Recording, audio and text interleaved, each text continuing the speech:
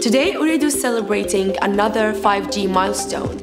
We've just received the world's first 5G home broadband devices.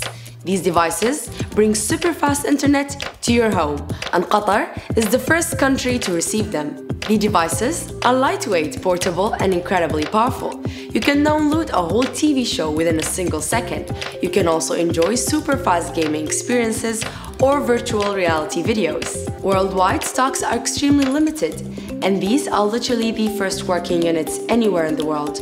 Ooredoo will be conducting the testing and the approval of these units. We will start providing them to customers as commercial quantities become available and the devices prove their speed in real life conditions.